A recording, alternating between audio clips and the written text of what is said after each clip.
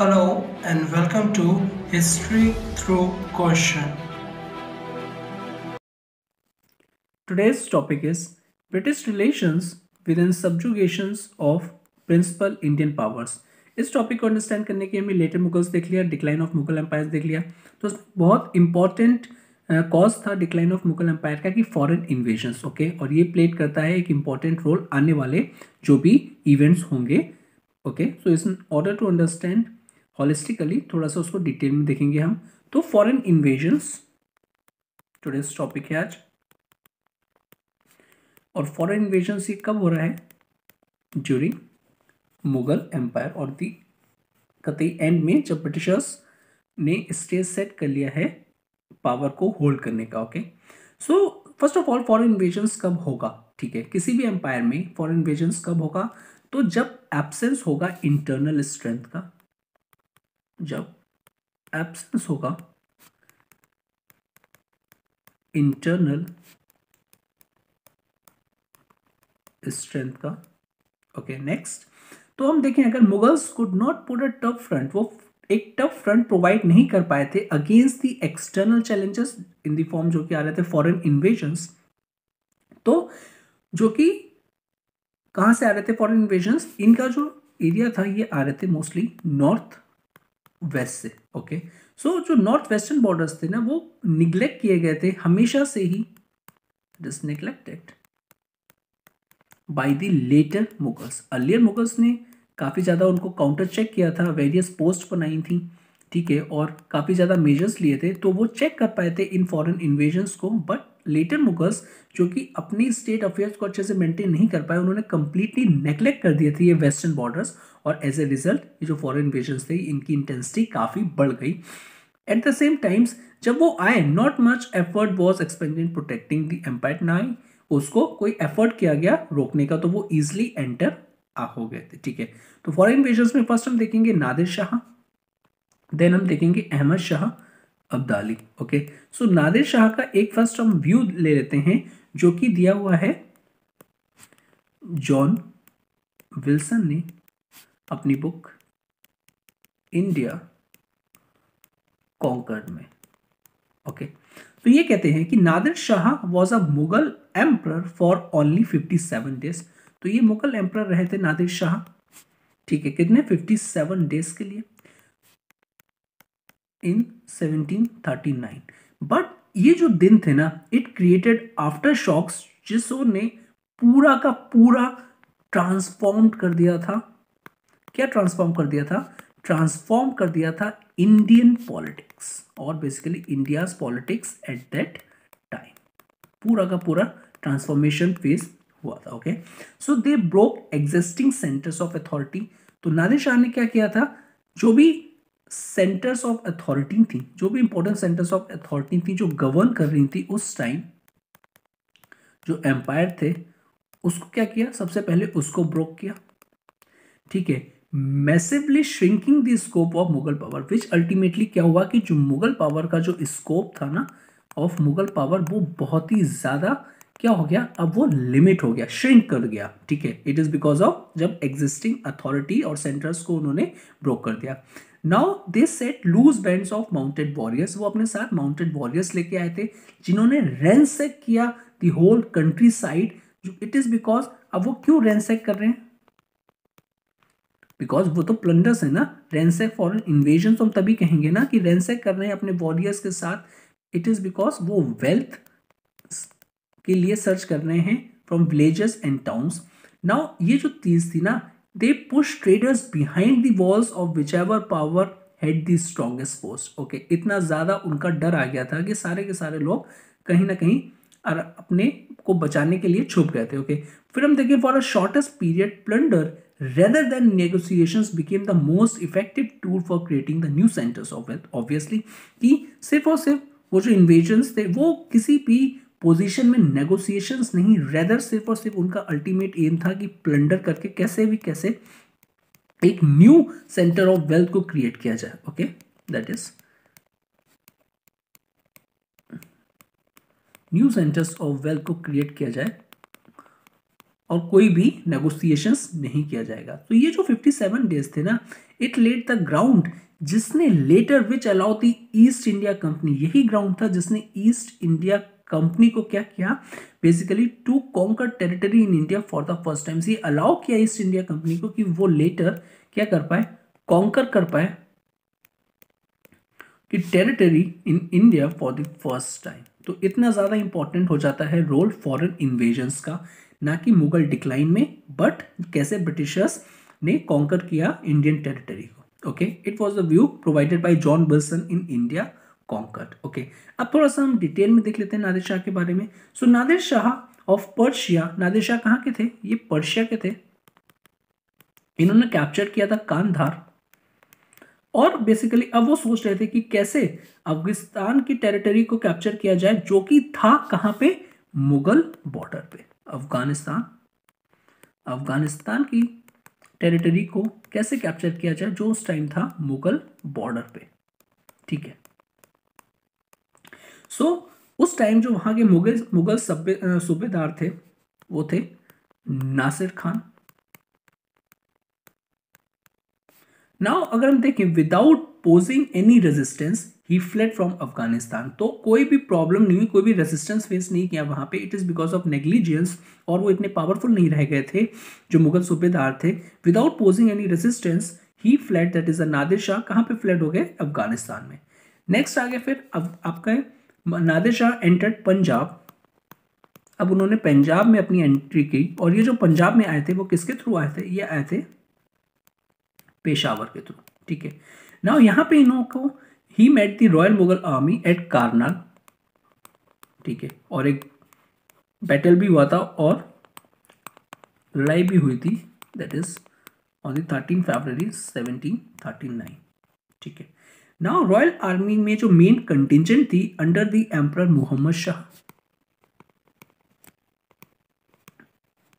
under the emperor Mohammad Shah and Nizamul Mulk.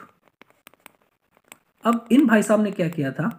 इनके अंदर ना काफ़ी ज़्यादा पावर थी दैट इज़ काफ़ी ज़्यादा कंटिजेंट्स थी, जो कि कंट्रोल कर सकती थी अगर ये पार्टिसिपेट करते बैटल में। But what will happen emperor Mohammad Shah and Nizam ul Mulk did not join the battle against this foreign invasion तो उन लोग ने पार्टिसिपेट ही नहीं किया। अब जब पार्टिसिपेट नहीं करेगा तो what will happen as the result क्या हुआ था army under Saadat Khan?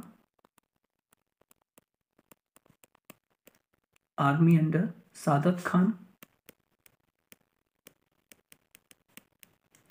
Khan Dauran.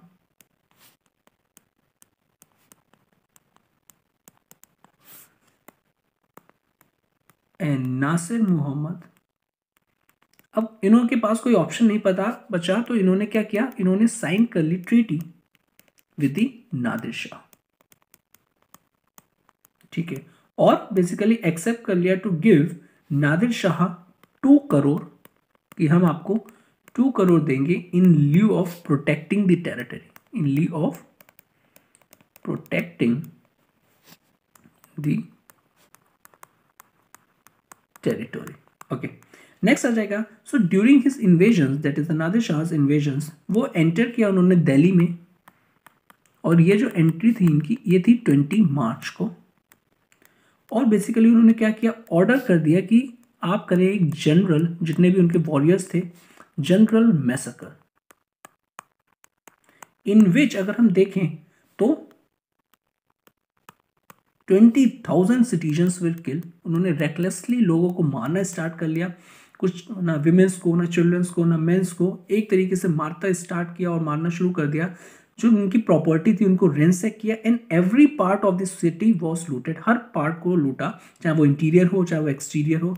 Nadir Shah remained in Delhi वो कब तक रहा था? अभी हमने देखा था फिफ्टी सेवन डेज़ तो वो रहा था fiftieth May when he return to Persia जब वो पर्शिया जा रहा था he had collected the huge booty including उसमें क्या क्या था? उसमें था आपका फ़ेमस पीकॉक थ्रोन और Kohinoor diamond Kohinoor diamond so ये नादिर शाह का इन्वेजन था, ठीक है ना? कितना कितना सीवियर था और हमने ये भी देखा था कि कैसे इसने new centres of wealth create कर लिया था okay so after that what will happen Nadir Shah gain the strategically important Mughal territory भी मिल गई थी that is to the west of Indus including the Kabul तो ये लेटर फिर ईस्ट इंडिया कंपनी के लिए एक स्टेज सेट कर देता है कि वो आके कॉन्कर करें इंडिया की टेरिटरी को ओके नेक्स्ट जो इन्वेजर इन्वेडर हैं that is the Ahmad Shah